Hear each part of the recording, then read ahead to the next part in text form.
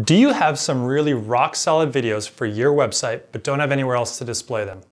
Maybe you already have videos on your website, but you need ways to leverage them online. Or maybe you want to talk directly to your prospects through a video to remind them of your services. YouTube retargeting might be perfect for you. Retargeting on YouTube is a great place for highly targeted video ads to take advantage of your video footage. Today, I'm going to talk to you about how you can get your videos in front of your warm prospect audience using YouTube retargeting. I'm Adam Markfeld, owner of Paracore, a pay-per-click lead generation agency. First, if you need a primer on retargeting, click here to see my video on retargeting basics. In the video, I go over the fundamentals of retargeting and how it works. Today, we're going to talk specifically about retargeting with YouTube ads, which are a highly effective way to engage your audience. It helps your brand stay in front of people, which, as you know, is critical for long sales cycles when you need to build trust. Using Google AdWords, you can roll any of your YouTube videos as ads during other videos in the YouTube network.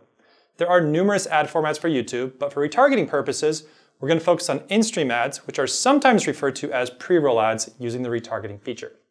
Let's start by going over the several different types of in-stream ads. You're probably familiar with skippable video ads that allow viewers to skip ads after five seconds. These ads can be inserted before, during, or after the main video the viewer is watching. Non-skippable video ads must be watched before a video can be viewed. They're about 15 to 20 seconds long. Longer non-skippable video ads may be up to 30 seconds. These ads can appear before, during, or after the main video. Bumper ads are non-skippable video ads of up to 6 seconds that must be watched before a video can be viewed. Once you know what type of ad you want to run, you'll need to decide who sees it. This is done by creating audiences in AdWords. There are a lot of different ways to create audiences, and we'll touch on just a few in this video. The primary YouTube audience builder for AdWords uses a person's engagement with your YouTube channel. Those behaviors include engagements like whether someone has viewed videos from your channel, visited a channel page, or liked a video from your channel page.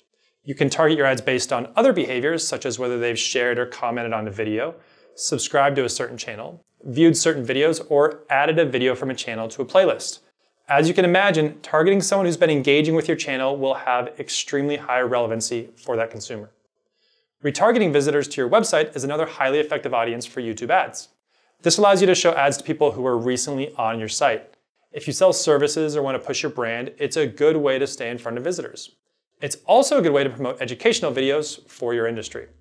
A third way you can create an audience for your ads is through Customer Match. Customer Match is a product from Google that they've created to help you reach what Google calls your highest value customers on Google Search, YouTube, and Gmail. With Customer Match, you can upload a list of email addresses which can be matched to signed in users on Google. From there, you can build your campaigns and ads specifically around reaching these audiences. For example, let's say you have an athletic wear brand. You can target people who have joined your rewards program, so when a rewards member Googles running shoes the next time they're watching videos on YouTube, they'll see your ads for your running shoes. We've talked about the ads and audiences. Now let's talk about how YouTube retargeting works and go over a few basic steps for setup. When someone visits your website, interacts with your YouTube channel, or performs an action that makes them fall into one of your audiences, you can retarget those people on YouTube. In order to get this set up, first connect your YouTube account with your AdWords account. Go to the settings, linked accounts, YouTube, and then connect your account.